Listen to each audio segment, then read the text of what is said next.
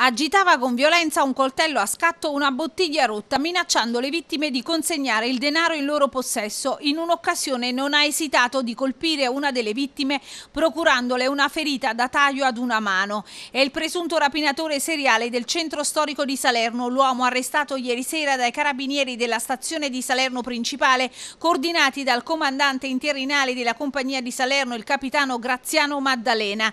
Si tratta di un 43enne BM le iniziali iniziali pregiudicato di Salerno residente nel centro storico, responsabile di quattro rapine tentate e consumate, lesioni personali e porto abusivo di arma da taglio. L'arresto è stato eseguito in esecuzione della misura cautelare degli arresti domiciliari emessa dall'ufficio GIP del Tribunale su richiesta della Procura della Repubblica.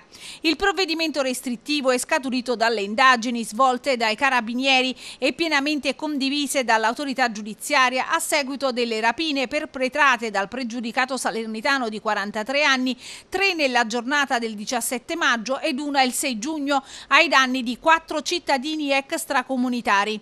In tutti gli episodi che si sono verificati per le vie del centro storico di Salerno, il rapinatore, identificato proprio come un residente del posto, minacciava le vittime di consegnargli soldi, ma al loro rifiuto cominciava con violenza a spaventare afferrando un coltello a scatto o una bottiglia rotta.